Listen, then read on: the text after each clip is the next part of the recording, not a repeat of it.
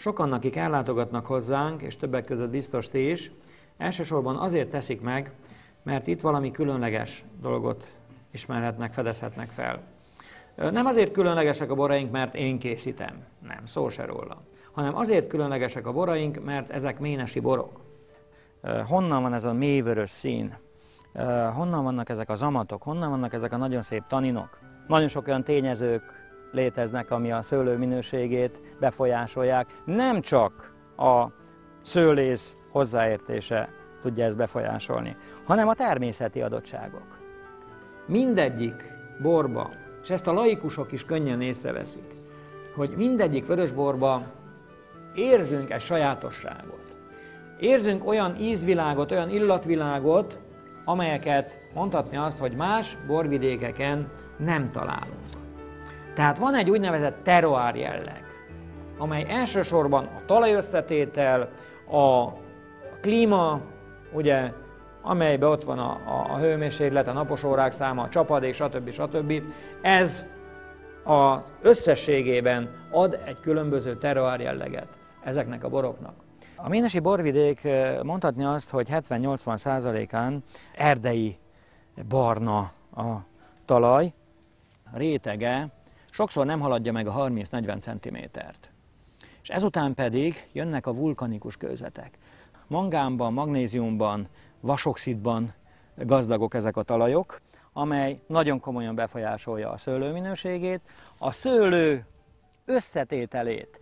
Ugye, amit így nem látni, azt gondoljuk, hogy teljesen mindegy, hiszen szőlőszem, ez is, mint a többi, egyáltalán nem mindegy, hogy milyen az összetétele. Egy idős tőkéről van szó, az 50 évet biztos meghaladta, de ez adja a minőséget. Ezeknek a gyökerei a vulkánikus jellegű kőzetekben is lehaladnak, lefúródnak 10-15 méterre is. Meddig? Addig, ameddig vizet talál, és a sokszor ásatásokat végzünk, talajprofilok, alig lehet kiásni azt a két méteres gödröt már, és gyönyörűen látni a sziklák között a hajszál gyökereket, amint azok kínlódnak hónapokon, éveken át, amíg leérnek abba a mélységbe. De ez is nagyon fontos dolog. Nagyon fontos dolog, hogy, hogy, hogy öreg tőkéken ilyen minőséget tudjunk előállítani. Tehát emiatt testesek a ménesi vörösborok, emiatt a mélyvörös színt találunk a vörösborokban, gyönyörű taninokkal, tehát mindig, mindig nagyon oda kell figyelni, amikor szőlőt telepítünk, hogy milyen jellegű talajra és milyen jellegű altalajra is telepítjük ezeket a szőlőket. Kell létezzen egy harmóniának a szőlőtőke, szőlőtőke a szőlész borász között. A szőlőtőke és a szőlész, a borász valahogy együtt kell nevelkedjen. Minden egyes fortéjait kell ismerni a szőlőnek. Minden egyes titkát abba az esetben, hogyha egy minőségi bort akarunk fogyasztani, mindig olyan, olyan megoldásokat kell találni, ami a borban a harmóniát hozza. Egy szőlő művelési technológiát, aztán pedig egy borkészítési technológiát, legyen az fehér, rozé vagy vörösbor technológia, aztán odafigyelünk a borra, a bor érlelésére, különböző körülményekre, a palackozásra, a címkézésre, aztán pedig a bor a pohárba kerül, ezeket végig gondoljuk. Elsősorban a borász tudja ezt végig gondolni, elsősorban a borász tudja ezt érezni, hiszen ő tudja, hogy milyen munka van a háttérben, de aki szereti a bort, aki kóstolja a borokat, aki odafigyel ezekre a lépésekre, mint ahogy az előbb mondtuk, az tudja, hogy igazán egy, egy óriási munka van egy pohár borban. És még mi fontos egy minőségi borhoz? Egy minőségű szőlő. Sajnos sokan azt gondolják, hogy ha a szőlő már zsendülésnek indul, akkor nincs szükség munkálatokra, nincs szükség kézi munkálatokra. Hát ugye ez is egy tévedés, hiszen ekkor kezdődnek el a, a úgynevezett minőségi változások a szőlőben. Az egyik leg, legfontosabb többek között, legfontosabb művelet, hogy itt fejezzem ki magam, az a lomtalanítás.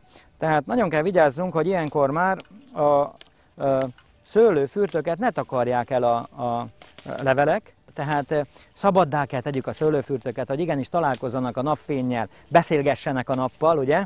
amikor a zsendülés elindul, akkor nagyon fontos a terméskorlátozás terméskorlátozás már a meccéskor is, is meg, létrehozzuk az első lépésben. Ugye maximum három vagy négy hajtást hagyunk mindegyik kordonon, ugye? Négy, négy termő ágat, ezen ugye kettő szőlőfürt jelenik meg, kettő szőlőfürt van jelen, ezekből a felső szőlőfürtöt eltávolítjuk, ugye, és, és abból lesz, abból születnek, hogy így fejezzem ki magam, a klasszikus borok, ugye, és az alsó szőlőfürt az megmarad, és hálá a jó Istennek, most jó idő van, és remélünk abból, hogy jó és egy hosszú őszünk lesz, és így a prémium kategóriát is meg tudjuk célozni ebbe az évbe. Hogyha zsendülés után, szület előtt egy hónappal végezzük ezeket a műveleteket, ekkor indul be a minőségi, indulnak be a minőségi változások, ugye a savbomlás, savnak a szőlőcukorrá történő átalakulása, ugye, és ezután pedig jönnek, következnek azok a, azok a, a műveletek, amit szintén a terméskorlátozás miatt végzünk el, mint ahogy mondtam, és ami nagyon fontos, hogy a lombozat is egészséges, hiszen ez a konyha, ugye?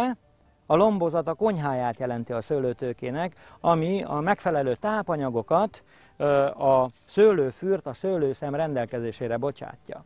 Tehát abban az esetben, hogyha, hogyha, hogyha ez a konyha nem jól működik, hogyha a lombozat nem megfelelő, akkor nem csak, hogy nincs fejlődés, nem csak, hogy fejletlen apró szemek maradnak, hanem nincs minőségi fejlődés, tehát nincs szőlőcukor akkumuláció. Ezért nagyon vigyázni kell a, a, a lomtalanításkor, hogy igenis jó az, hogyha a, a fürtöket nyitottá tesszük, de arra vigyázni kell, hogy egy megfelelő mennyiségű lombozat mindig maradjon, ugye? Azért, hogy a szőlők beérjenek, azért, hogy, hogy jó minőségű szőlőt kapjunk. Előszöretet végzünk, amiből rozét készítünk, körülbelül egy 20%-át, 20-25%-át születeljük a termésnek. Következik a klasszikus kategória, amikor a fennmaradt szőlőnek körülbelül felét leszedjük.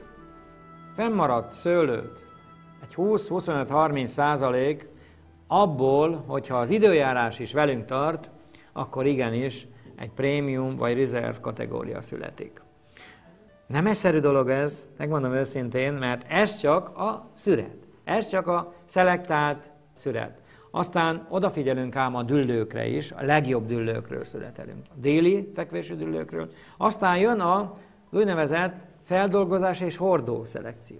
Préselés után ezek a borok tölgyfahordóba kerülnek. Legyenek kis tölgyfahordók, úgynevezett barikhordók, vagy netán az általatok itten szemügyre vehetett nagy hordók, úgynevezett ászok, tölgyfehordók. Hogy taninokban gazdag borok, testes vörös borok. És emiatt azért, hogy ezek a taninok meglágyuljanak, megpúljan a bor, ugye, bársonyos legyen a bor, minimum kettő évi fahordó élelésre van szükség. A hordó donga pórosain keresztül úgynevezett mikrooxidációs folyamatok jönnek végre, Általában a boroknak a legáldasszabb ellenség az oxigén, de itten mikrooxidációs folyamatok jönnek végre, jön, mennek végbe, és, és ez idő alatt ugye ezek a taninok, a csersavak meglágyulnak, bársonyossá, lágyjá teszik a vörösborokat.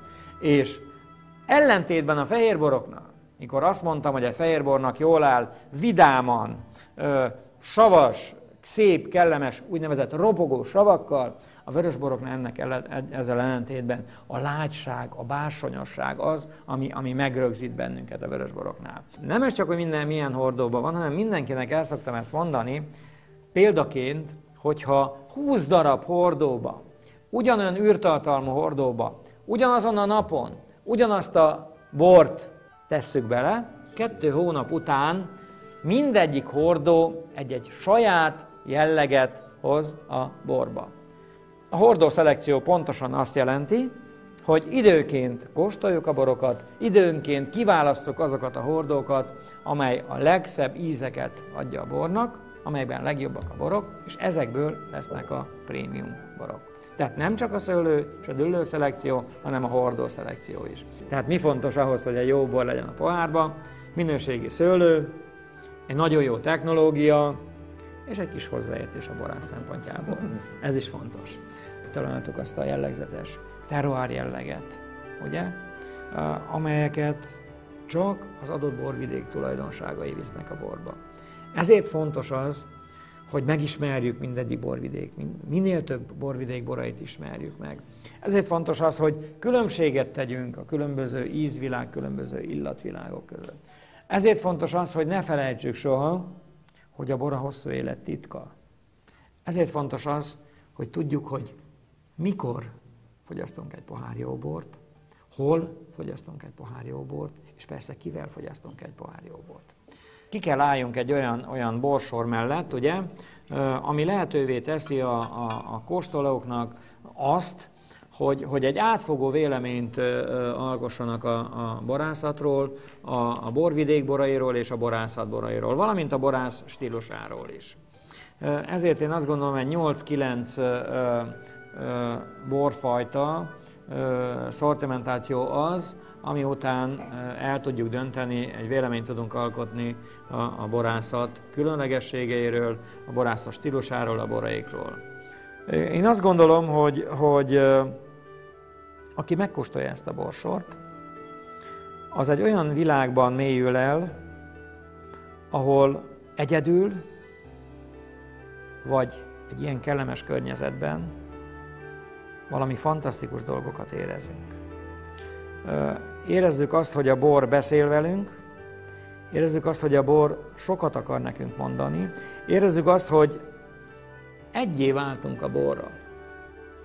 Érezzük azt, hogy megtisztultunk, és megtisztulunk akkor, amikor egy pohárbar előtt ülünk, egy pohárborról beszélgetünk, szeretteinkkel, barátainkkal, úgy, ahogy az es folyamán történt. Én örülnék annak, hogy minél több alkalmunk szülessen, amikor ménesi borokról beszélhetünk, amikor a ménesi borokról kóst, ménesi borokat kóstoljuk, ugye? És remélem azt, hogy az elkövetkező időszakban is, elkövetkező években is lehetőségünk lesz a következő évi állatok borait szintén együtt megkóstolni. Én azt gondolom, hogy rátérhetünk az est következő pontjára, beszéltünk ezekről a borokról, hát akkor most ígyunk belőlük. Egészségünkre!